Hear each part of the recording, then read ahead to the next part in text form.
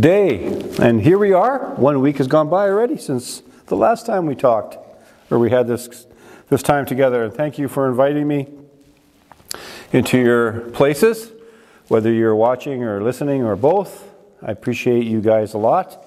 And I uh, just wanted to say, on behalf of Redwater Alliance uh, Church, again, Happy New Year. We are still kind of new in the year. It's only the 14th so, so good to be here with you. But, anyways, today we're going to pick up where we left off at the end of November with our sermon series, The Path to Life. I don't know if you remember that. And by the way, you can find uh, the, that series on uh, Redwater Alliance YouTube uh, site uh, called uh, Psalm 119, The Path to Life. And you can also find it, maybe some of it on the Facebook, Redwater Alliance Facebook page as well. But you know, this is a verse by verse study of Psalm 119. So we're going to resume that. And of course, much has transpired since, since we finished at the end of November. You know, we entered that Advent season with all that anticipation and excitement as we prepared for the birth of our Lord and Savior Jesus Christ. Uh, Christmas Eve came, Christmas Day came, New Year's Day uh, arrived, and uh, today we are basking in the light of the wonder of God's redemptive purposes and plans, plans that were fulfilled in the incarnation of His Son, Jesus Christ. So it's with these great blessings that we have from God that we now turn the pages of our Bibles to Psalm 119. And friends, if I know people, because I am one of those people, we will need to be reminded of a few of the features and distinctives concerning this, the longest psalm in the book of Psalms or as some call it, the Psalter. And my intent really is to make this pain free as possible uh, for probably myself. Because if you so choose, you could do your very own background study whenever you turn a page of the Word of God, wherever you turn it. And I would encourage you to do so. But this brings us to a really important question why? Why study Psalm 119? Well, as a pastor, uh, one of the incentives uh, to study Psalm 119, verse by verse, is in part because as someone, as someone once said, quote, the scandal of biblical illiteracy, illiteracy is our problem. And that is a problem in the Christian world today, in the West here, and particularly North America, is biblical literacy. Because as followers of Christ, our prayer and hope should be as we make the effort to prayerfully read Psalm 119, to study it, to teach it, and to preach it, that our love for God's Word would grow and grow. Secondly, that our love for God's Word would uh, only be overshadowed by an ever increasing love for God, who has given us His very Word here in these pages that we call the Bible. And thirdly, that we will grow in the knowledge of Jesus Christ, but obviously also in the grace of Christ. So, with this motivation and this intentionality in mind, let's make a note of a few of the important features. Well, the first one that should stand out to us is that what we have in our hand is Hebrew poetry. Now, more could be said about that, but I'm going to give you the assignment to find out what kind of poetry is this? Well, it's Hebrew poetry, but it's a certain kind of Hebrew poetry. And you can find that out in any good study Bible or commentary that you may have or may not have. And you can find those online as well. But there are two prominent themes that come to the surface with Psalm 119. One, we hear we, in this uh, psalm we find a theme of persecution and the affliction of the people of God. And two, uh, we find the all sufficiency of the Word of God as well. And we see this demonstrated a number of ways. And one in particular is the author's use of synonyms for the Word of God. And we will see this feature uh, clearly in our text that we will be looking at momentarily, as the author was sure to include a synonym, a synonym, not a synonym, a synonym for the Word of God in each of the verses that we will be looking at. That's a feature that you find throughout the whole psalm. Two quick final points. Psalm 119 affirms the character and sufficiency, as I said, of Scripture. But last, but not least, the text affirms that God's Word is really a reflection of the nature and character of God Himself. So please turn in your Bibles to uh, Psalm 119, and we'll be looking at verse 65 through to 72. These uh, sections of Psalm 119 are broken into eight verses, each beginning with one letter of the alphabet, of the Hebrew alphabet. Verse 65 You have dealt well with your servant, O Lord, according to your word. Teach me good judgment and knowledge, for I believe in your commandments. Before I was afflicted, I went astray, but now I keep your word. You are good and do good. Teach me your statutes. The insolent smear me with lies, but with my whole heart I keep your precepts. Their heart is unfeeling like fat, but I delight in your law. It is good for me that I was afflicted, that I might learn your statutes. And the law of your mouth is better to me than a thousands of gold and silver pieces. The Lord bless the reading of his word. Let us pray together. Our Lord and God, we just thank you for your word and we just commit this time to you and ask by your Spirit that you'd help us digest this not only mentally and, and in our brains, but also in our hearts. That it would shape and mold us to become more and more like your Son Jesus. And may you be honored and glorified in this moment. And we pray in Jesus' name, amen. So if I said to you, life is hard, would you be inclined to agree with me or disagree? Now, I suspect, my gut feeling is that most, if not all of you, would agree that life at times can be hard. It doesn't matter who you are it would be true to say that we've all experienced some kind of difficulty in our lives from time to time. To put it another way, our experiences in life, whatever they may be, reveal that tension and conflict are part and parcel of the world that we live in. So, with this in mind, let's turn our attention to the text that we just read together. We want to look at that first verse, and here we see it begins with a positive. God had been good toward the psalmist, and in response, the psalmist expresses his gratitude. And let's read verse 65 together. We read, You have dealt well with your servant, O Lord, according to your word. Now, notice with me the phrase, You have dealt well with your servant. The NIV, I have the ESV, but the NIV translates the same passage as do good to your servant. So, what's happening here is the ESV translators uh, translated the Hebrew noun tov as the word well, and the NIV used the word good. These are both good translations of the Hebrew. But the sense here is something that is good, that is pleasing, that is valuable, that is useful. God had done good to the psalmist. And I just want to stop here for a second, right off the bat, here, very early into the message here, and ask you the question have you experienced God doing good to you? Have you experienced God doing good to you? Now, don't answer that question too fast. Take your time and let the question simmer for a while. We'll be back at it shortly.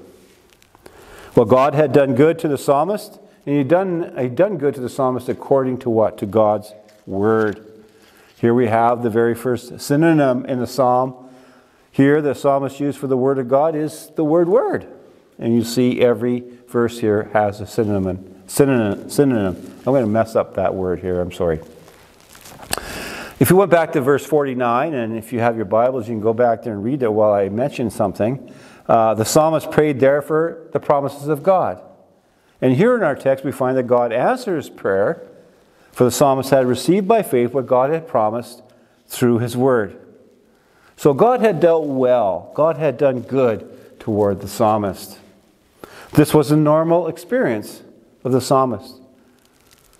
Put your faith and trust in the goodness of God, and despite the circumstances of life, God will do good for those who trust Him. This was a prayer, as we see of another psalmist, who said, Do good, O Lord, to those who are good, and to those who are upright in their hearts. We find that in Psalm 125, verse 4. Let's go back to the question that I asked you have you experienced God doing good to you? But let's go back even further to the very beginning. where we men ask the question Can life be hard? Now, let me rephrase these two questions and put them into one. When life has been hard, have you experienced God doing good to you? Let me say that again. When life has been hard, have you experienced God doing good to you? You know, it's quite interesting if you notice in life that when life is good, when all is well with our lives, when we're fi- firing on all eight cylinders, I would venture to say that many would say that God had been good to them. But yet, when life is not good, when it's hard, when trials and tribulations come our way, and they do, I wonder if we would say that God is doing good to us. Do you notice how I'm phrasing that? God is doing good to us. Because, friends, it's in the difficulties of life that Pastor Jason from Chicago once said, quote, we crave explanations. In other words, you and I yearn to find meaning when pain and tragedy are in our lives. Pastor Jason goes on to say that, quote, this inclination or this desire for meaning is part of what makes us, well, us. But here's another question What if we can't find meaning in the pain? What if we can't find meaning in the pain? Well, often we turn inward, don't we? And attempt to come up with our own meaning. And Pastor Jason has something to say about that as well. Quote, if you're like me, your answer is often not a good one. Our bad answers cause us to respond to pain in ways that cause more pain to ourselves and even others. And quote, how true that is. And has this been your experience? Or maybe, just maybe, in your search for meaning, you actually question the goodness of God in your search and in your struggles. Well, back in our text, God had dealt well with his servant we see this in verse 65. Notice then with me the psalmist's response to the goodness of God in his life. He prayed and he asked God, verse 66, teach me good judgment and knowledge, for I believe in your commandments. For I believe in your commandments. We go to another person from the Old Testament. Maybe you've heard of him, King David. I hope you have. Well, King David came under the discipline of God for his adultery with the Bathsheba. And conspiring to and carrying out the murder of Bathsheba's husband. And then he cried out to God for forgiveness. And if we go to Psalm 51, it records for us one of David's prayers of confession. And it's in that prayer David reminds us what God desires of you and me what God desired of David. David said, Behold, you, that is God, you delight in truth and in truth, pardon me, let me repeat that. Behold, you delight in truth in the inward being, and you teach me wisdom in the secret heart. Psalm 51, verse 6. This is the same idea that's happening here in verse 66. It's the same kind of prayer that our psalmist prayed here at verse 66. I don't know if you know anything about music, but for me, there's a melody playing in the background of our text here. And I wonder if you can hear it, because I can hear it. It's a melody of the gratitude to God. It's a melody of a blessed life, of one who put his faith and trust in God despite of the circumstances of his life, who understood all too well that he was a sinner before a holy and just God, who sought forgiveness from God for his sin, who faced his persecutors, as we will see, by keeping the commandments of God, not running from them, who understood and experienced the goodness of God in his life, in the good times and in the bad times. Even when God disciplined him when he went astray, or when he was persecuted for, by others for his trust in God, he would say, it is good for me that I was afflicted, that I might learn your statutes. Verse 71. So let me ask you again when life has been hard, have you experienced the goodness of God? Or did you question God's goodness in your search for meaning? The psalmist praises the goodness of God in his life. He says here in verse 68, You are good and do good. So, who is good and who does good? Well, you know the answer God. This phrase, you are good and do good, points, as we mentioned, one of the features of this psalm to the very character and nature of God. And for this particular reason, it'll be behooves us to spend a few moments unpacking the biblical doctrine of the goodness of God. We need to spend a few moments here. And I want to keep, uh, keep this time to very simple and concise for us. So I'll be uh, using uh, material from a biblical scholar by the name of Wayne Grudem. You may have heard him from his published works, Biblical Doctrine. And this will help us to keep it concise and just kind of get out the nuggets that we need. So when we consider the goodness of God, we are deliberating, we are discussing what is a moral attribute of God. Moral attributes such as God's love and His holiness, His righteousness, His jealousy, His wrath, and, and our subject, His goodness, which would include uh, His mercy and grace as well. And Grudem helps us by giving us a definition to work with.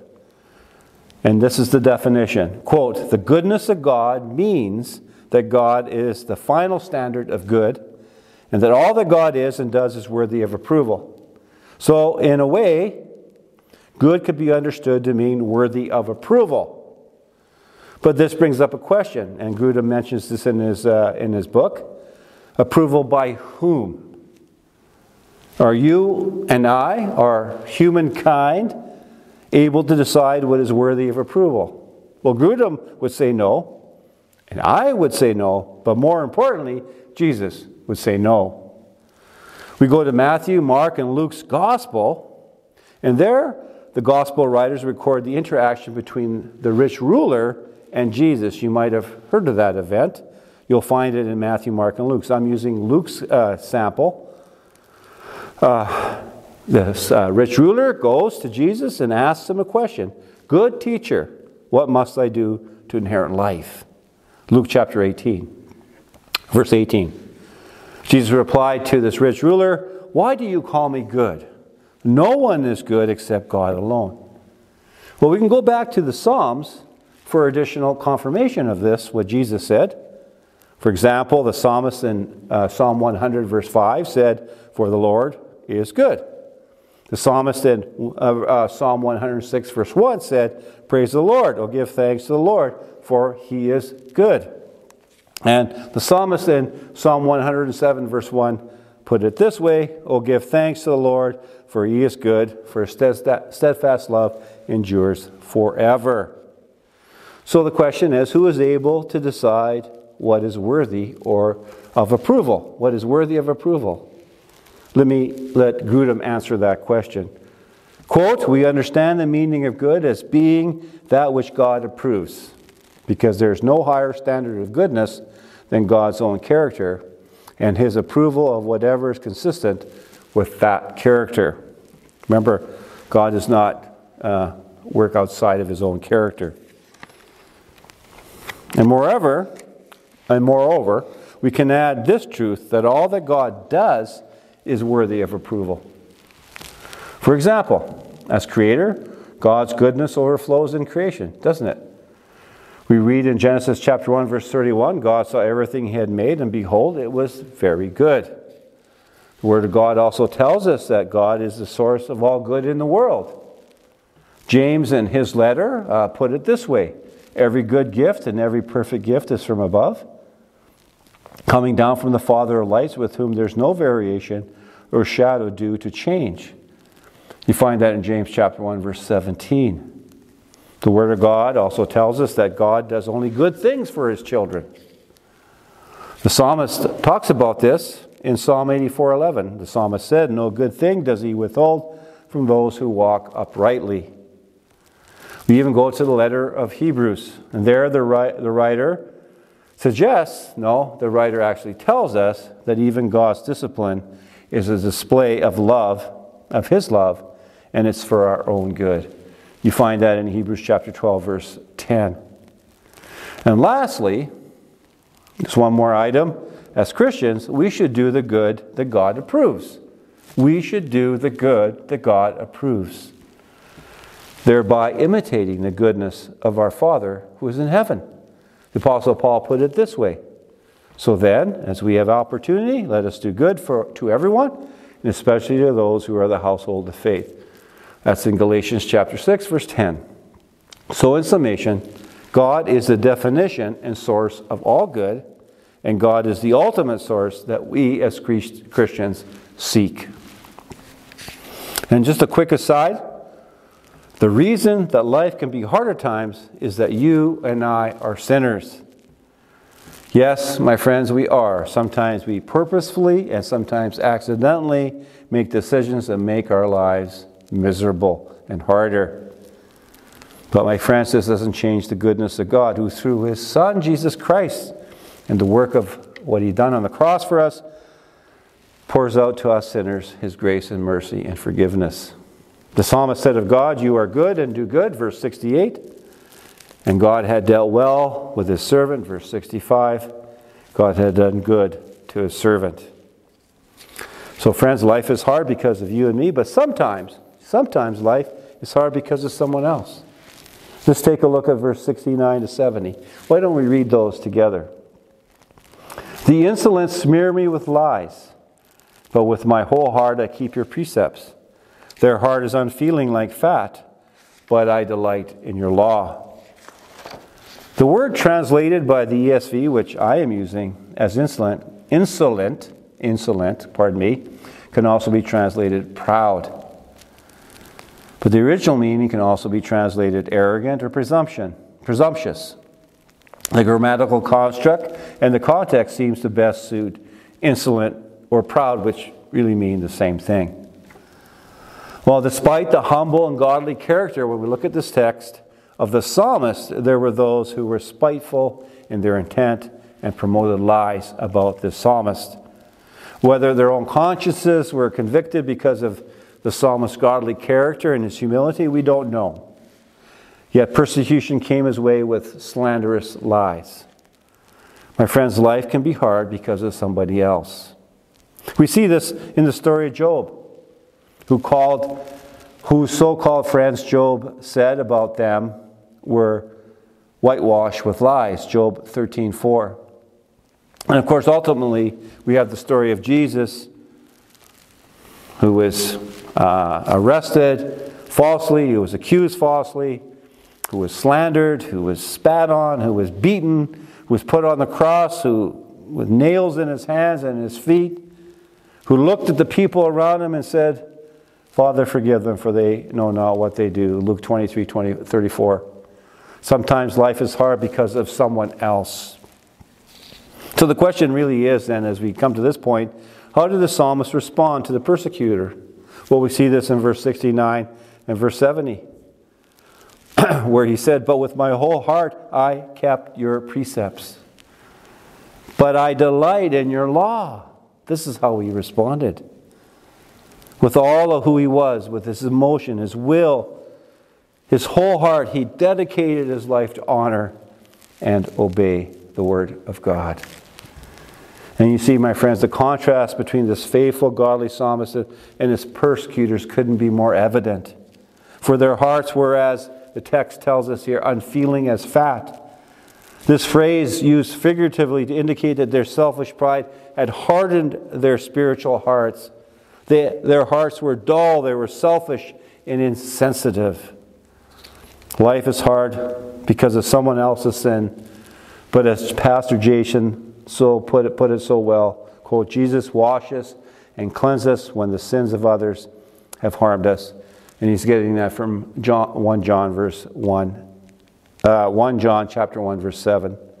So let me ask you, let me ask you, when life is hard because of someone else, how have you responded? Think about that. This brings us to the last two verses as we bring this to a close. And I just want us to notice uh, this phrase, it is good for me that I was afflicted, verse 71. Here, the psalmist, in his way and in a way, repeats his thought from verse 67. The affliction that he had experienced under the guidance and wisdom from the Word of God had done good in his life. God had dealt well with him. Well, my friends, then sometimes life is hard because, well, God is good. Someone once said, quote, when things get easy, the tendency is to stray from the path. Trouble sends one back to the Word of God, end quote. My friends, this is what affliction and persecution did for the psalmist who said here in verse 72 The law of your mouth is better to me than thousands of gold and silver pieces. By affliction and persecution, the psalmist had come to see the Word of God worth more to him than a vast and great fortune, better than thousands of gold and silver pieces. I wonder have you ever considered that God has purposely designed the world in a way that would take an effort on your part to become mature, to have sustainable change and progress in your life? Have you ever considered that, that uh, when life is hard, that we are shaped, that is when we are shaped and made to be more like Jesus? The Apostle Paul put it this way For we who live are always being given over to death for Jesus' sake, so that the life of Jesus also may be manifested in our mortal flesh. 2 Corinthians verse 4 and 11. Uh, chapter 4 and 11. My friends, sometimes life is hard because of you and me. Sometimes life is hard because of someone else. And sometimes life is hard because, well, God is good. So when life is hard, or has been hard, have you experienced God doing good to you? And my prayer for you is this as we close is that you would know that the mercy of God will never fail you, that you would know the goodness of God all the days of your lives, that you would know the faithfulness of God in your trials, and that you would delight in the Word of God. Let us pray. We thank you, Lord, for your Word, for the time here together. And I pray that we would ponder these questions, that we would seriously seriously examine our own hearts and that we would trust you uh, to shape and form us to become like your son Jesus through all of life's ups and downs and even in the good places as well. We praise you and thank you in Jesus' name. Amen. Thank you again for being with, allow me in your places, I should say, not with me. I'm with you. I'm far away from many of you probably. But, anyways, God bless and shalom.